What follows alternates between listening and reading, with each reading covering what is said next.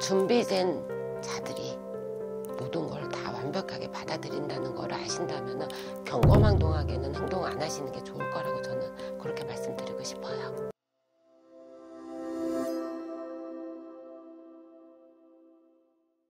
안녕하세요. 연화신당 맷돌장군 보현보살입니다. 반갑습니다. 반갑습니다.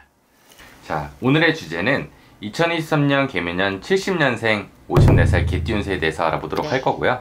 어, 2023년 개묘년 운세를 알아보기 전에 이분들이 좀 어떤 삶을 살아왔는지 알아보고 들어가 보도록 하겠습니다. 계획적으로 움직이고 행동하기보다는 즉흥적인 성향이 가장 크신 분들이세요.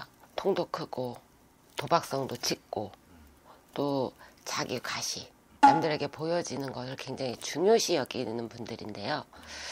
어릴 적에 객지 생활을 하거나 아니면은 스스로 이 내 울타리 둥지를 벗어나와서 스스로 거- 걱정 근심도 만들어내고 지금 이 삶이 마음에 들지 않아서 나는 다른 삶을 살 테야 이렇게 좀 도전적인 거 또 변화를 또 좋아하고 분위기를 즐기는 이런 성향들도 많으시고 그런 삶들을 많이 살아오셨어요. 재물은 좀 들쭉날쭉하지만 최고치를 올라갈 수도 있고 또 그 반대로 그 벌은 거를 유지를 못하시고 내려오시는 성향도 강하시고 대인관계는 호불호가 분명하셔서 내 사람 내 거는 정확하게 챙기고 안고 가고 또 내가 조금 싫은 사람 적을 두는 사람들은 가차없이 내치기도 해요. 그렇지만 이분들은 대부분이 외로우세요. 내 속을 남들한테 완벽하게 털어놓지를 못하고 나를 적나라하게 보여줄 수가 없는 분들이기 때문에 삶이 좀 고달프고 외롭다 이렇게 표현드릴 수 있을 것 같아요. 어, 이제는 2023년 개묘년에 이분들이 좋은 것들과 조심해야 될 것들 알아보도록 하겠습니다.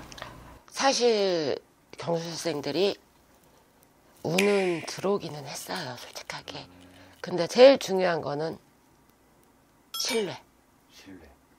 그동안에 내 운이 안 좋고 나의 기운이 묻혀 있다 보니 뭐 말로써 사람들과 어떤 언쟁이 있어서도 나를 깎아내렸을 수도 있고 스스로 또 금전이 풍파가 있었기 때문에 원활하지 않았을 거란 말이에요. 그래서 또 그런 약속이나 어떤 부분을 이행을 못했기 때문에 제 이제 꺼져가는 불 아닌가 이렇게 주변에서도 볼 수도 있어요. 그러다 보니 새로운 운은 물론 나의 운이 새롭게 또 들어오고 좋게도 들어오지만 주- 결국에는 주변의 힘도 있어야 돼요. 그렇다 보면은 나의 신뢰도를 다시 쌓아서 내가 다시 도움도 받을 수 있고 투자도 받을 수 있고 또 협력자도 모아야 하기 때문에 23년에는 내 신뢰를 제일 먼저 챙겨라. 그리고 선생님께서 처음으로 말씀해 주신 게 운이 들어왔다고 말씀해 주셨잖아요. 그럼 어떤 운인지 좀 시청자들 궁금해 하실 것 같아요. 그냥 새롭게 시작하는 운이라고 말씀드리고 싶어요. 매매 운도 들어와 있어요, 사실. 응? 어떤 부동산 쪽이 됐든 내가 창업을 하든 이런 운은 들어와 있지만 일단은 나라 경제도 좋지는 않아요.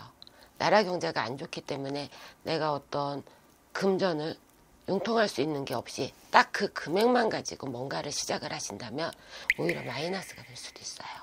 그래서 그런 것들 때문에 완벽하게 준비가 되신 분들은 그 운을 다 받아들일 것이고 아직 준비 중이시라면 조금 더 완벽하게 준비하셔서 도전하는 게 내 들어온 운을 잘 찾는 그런 방법이고요. 또 하나 나쁜 거 귀가 얇으세요. 내 주장은 참 강해. 근데 귀는 너무 얇아서 쉽게 예시를 들어서 저는 무당이니까 무당 표현으로 얘기를 하면 너 운 들어왔어. 굿하면 좋아. 야, 너 굿만 해봐. 그냥 그 운 다 네 거야. 쉽게 이렇게 얘기 들은 거 가지고 나 운 들어왔대요. 뭐든 좋아요. 굿이란 걸 뭐하러 해요? 이게 좀 자기 자만 교만에 빠지실 수도 있으세요.